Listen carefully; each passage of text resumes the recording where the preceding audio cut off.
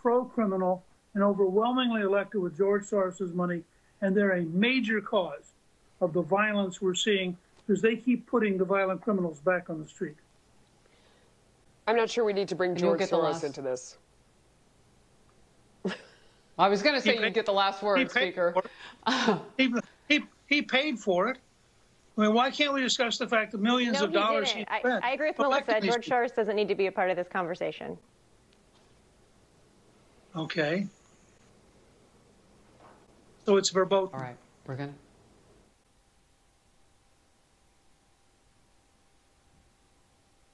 Okay, we're going to move on. Uh, So it's verboten. all right, we're to. Okay, we're going to move on. Uh,